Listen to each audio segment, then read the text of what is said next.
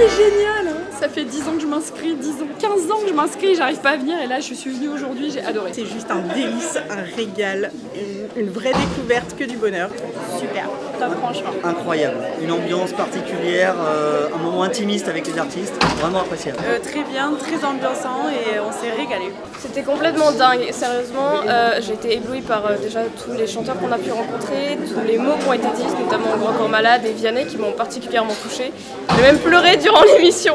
Moi j'ai adoré Vianney, euh, c'est mon chouchou de toute façon, donc euh, je suis ravie de l'avoir vu, il est trop gentil et je suis fan. Plein de belles découvertes, des artistes qu'on connaissait plus ou moins bien. Euh, c'est chouette de les voir naturel, en live, euh, avec Nagui, euh, parfait. J'ai beaucoup aimé euh, l'idée de la transmission derrière, qui avait entre intergénérationnel et intertype de musique. Je sais pas si on dit type de musique, mais c'est pas grave. Bref, un régal. Merci à tous. C'était génial. Je me sens vraiment très très chanceuse d'avoir vécu ça ce soir, c'était formidable. Belle ambiance, belle énergie, des superbes artistes, euh, un bon moment de partage avec mes amis, euh, c'est extraordinaire. Merci beaucoup. Franchement, terrible. Grand corps malade, la tirade sur le verre, c'était mais juste magistral. Les, les poils. Venez, si vous hésitez, venez, c'est top. C'était vraiment dingue, hâte de le refaire.